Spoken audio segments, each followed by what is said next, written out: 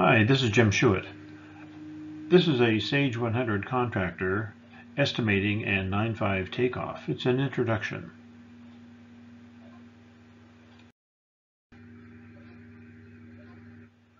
Why use the Sage estimating and takeoff? This is the center point of the software. Everything you do starts here.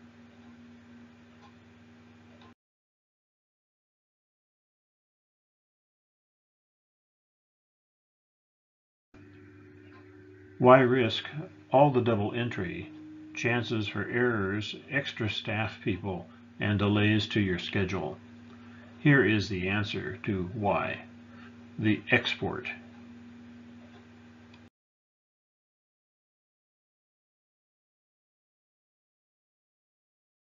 The export, a one-click creates your budget, purchase orders, and subcontracts. By the diagram, you can see the items which one click will export and how many options there are for each one by job, by job phase, and so forth.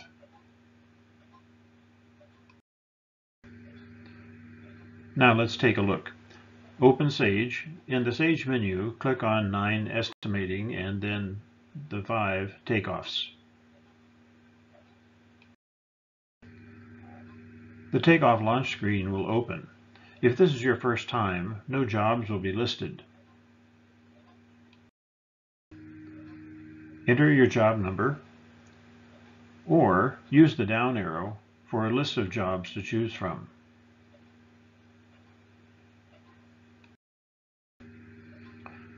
What are some of the key takeoff features you'll need to know to prepare your takeoff?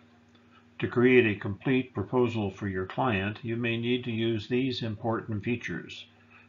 They're not required, but they are available. Parts. Parts provide the description, part numbers, costs, client price, categories, instructional notes.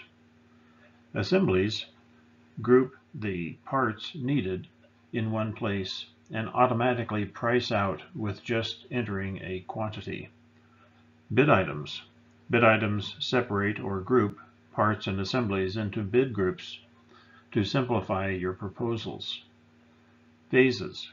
Phases separate your bid items, if needed, into project sections like Building 1, Building 2, etc.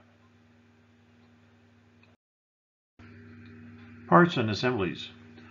In the Sage menu, 9.2 is where you create the parts, and 9.3 the assemblies.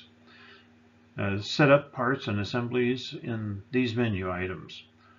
Uh, for items pricing to be included in the final takeoff proposal, each item must have a quantity and a cost. The cost comes automatically usually from the item part number.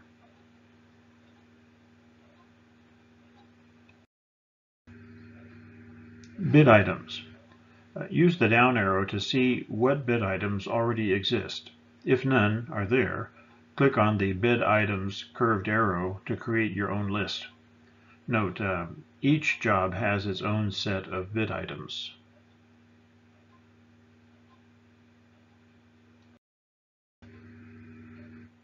Phases. Use the down arrow to see what phases already exist. If none are there, click on the phase curved arrow to create your own list. You can use phase to separate the takeoff into segments like building 1, building 2, etc. Note, each job has its own set of phases. A couple of features that will help you. The view and the auto fit.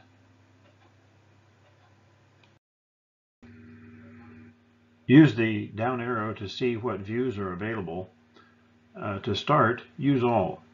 To create your own view, click Grid Views up at the top uh, at the top in the little box uh, from the top menu. You'll find that these views allow you to zero in just on the columns that you need. It's an amazing feature.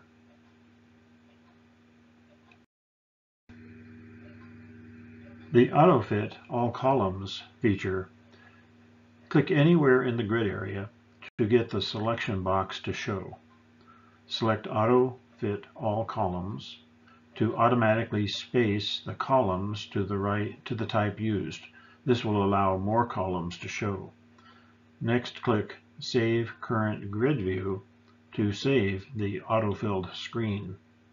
This feature is uh, just super powerful and useful. I use it every day. Now let's look at the takeoff.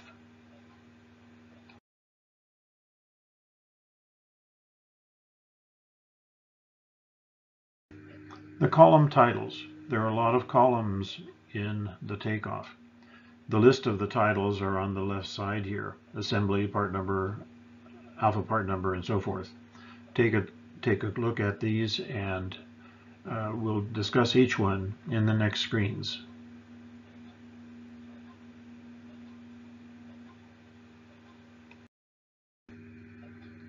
Let's look at one of the unique things you can do in your takeoff. One-click RFP, the, requ the request for price. The RFP. To get RFPs, list the same item multiple times and add a different vendor to each. Send out the RFP requests with one click log the vendor prices into your takeoff, and for the winning bid, add quantity equals 1 to the takeoff for that row. Enter quantity equals 1 on successful vendor. Leave the other vendors no quantity, uh, just as history. Only items with a quantity fund the estimate for the client. This provides you the historical look, looking back at the bids and also provides you with the winning one and its uh, quantities and pricing.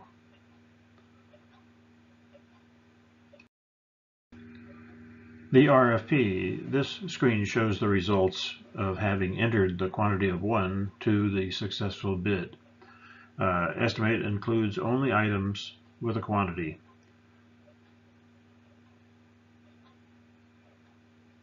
Now the process is shown on the next screen. The RFP process, again one click. You start with the takeoff and you go up to export and choose RFP in the list and then by job. From there it gives you the screen to select the vendors you want to send the RFP to.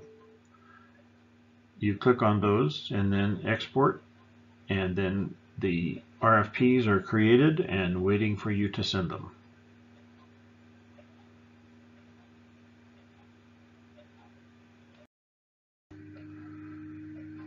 Now let's take a closer look at the takeoff grid. The takeoff grid has a lot of columns. We'll take a look at segments of this one segment at a time.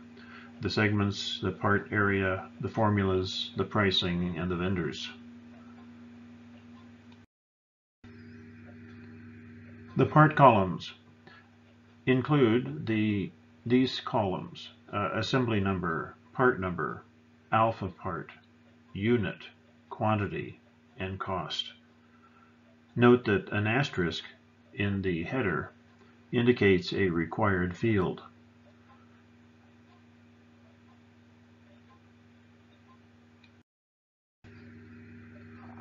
The formula column the formula column can be used in many ways or not at all. In, in this instruction level, we suggest that you review the example on the diagram at the right and then study the help info. There's quite a bit to learn uh, on how to use it and examples in the sample company. Uh, in this case, the uh, L, W, T, and R rows, in other words, the length, width, thickness and rebar are uh, labeled as equaling Q, the quantity. The following rows are using those new labels to create the formulas to calculate complex values, in this case, poured, footing, running, linear feet. Take a look at that and you'll find that it's uh, Easy to understand and straightforward.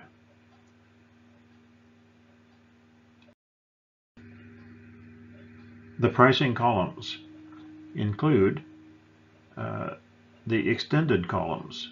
Uh, these are the result of multiplying quantity and cost columns to generate the existing totals of labor and materials required in the estimate for the client. Uh, there's also sales tax columns, overhead rate and overhead amount, profit columns like profit rate and profit amount, and then the extended price. You'll see that the overhead rate is a, a computation of the extended cost times the overhead rate. The profit then adds the profit rate percentage to the sum of the extended column and the overhead rate together and gives you the extended price. Now, the extended price is your client's cost.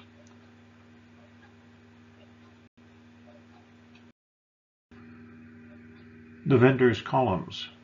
There's a column for the vendor and cost codes. The cost codes are unique to the company. Uh, cost type, those are preset types, uh, one through five, and there are four additional ones that you can select as how to use those. Task columns are tasks are for the scheduling module, inventory location columns, again for the inventory module, if you use those. Uh, the user defined column provides a column where you can choose what you want it to, to do and how you want it to act and what type of data to put in there, dates, numbers, text, that type of thing. And the last two columns are the notes columns. The notes column are internal company notes, and the export notes column are for export, obviously, like to your client.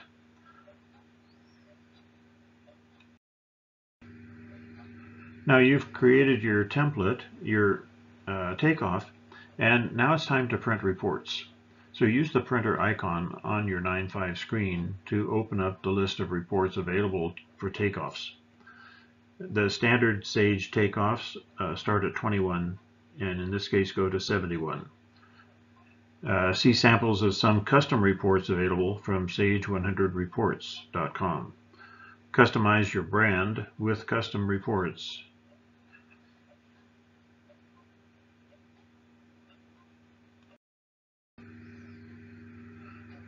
Here are some proposal samples of custom reports. And remember, your brand, your company brand is most important. Uh, you need to have a good look and it needs to be consistent throughout all your, your modules and things that the client receives. Here are three samples and on the next screen another three samples of proposal. So it shows different styles uh, for you to consider.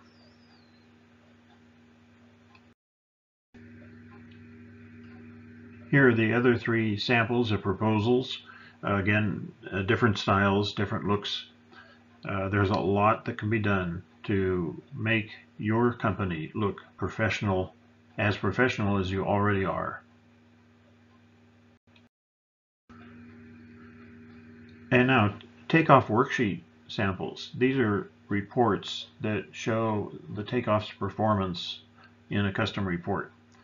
Uh, these two samples that I'll show you, this one and the one on the next screen, are quite dynamic. Uh, this report shows all fields, all lines on your takeoff for a quick review of the takeoff content.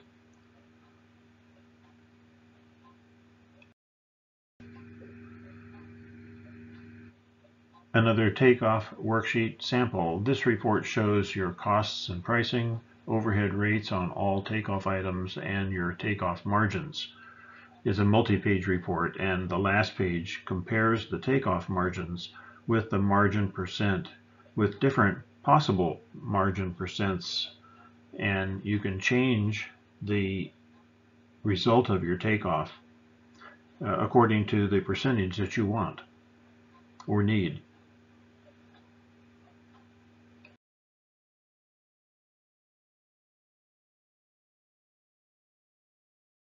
Well, there is much more to learn.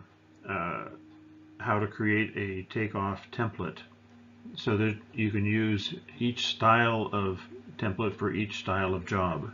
Reuse them over and over again to save time during estimating. And ask me about converting your spreadsheets to a template for you. And there's of course additional classes on, are available to continue your education on learning the 9-5 takeoffs. I want to thank you for your time and your interest, and I'm here to help. Thank you so very much.